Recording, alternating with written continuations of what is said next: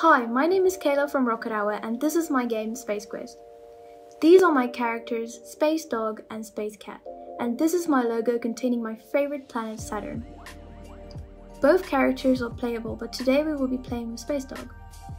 The idea for the game originally started as a part of my interest in space, but I wanted to create a quest-like theme where the player feels like an explorer, discovering and learning more about space. Learning isn't normally fun, and because of this I created a game which turns ordinary learners into explorers in the form of Space Dog and Space Cat. The explorer gets to travel the galaxy and explore different planets. In this case, Mars. They are given the opportunity to explore the surface of the planet in the form of a platform game, and then given facts about that specific planet.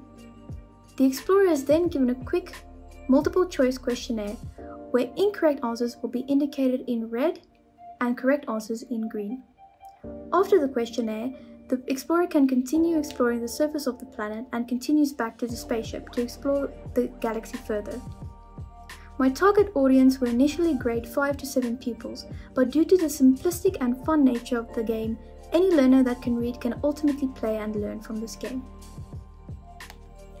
I quickly want to show you some of my code starting with the platform code, which basically defines the science and physics of character movement.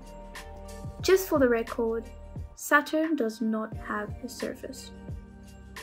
This section of the code refers to the character selection, followed by the platform code on which the character walks. Both Space Dog and Space Cat share the same code. This, this section of the code handles the answers for the questionnaire, and lastly the spaceship doors between costumes. Thank you for your time and thanks for watching.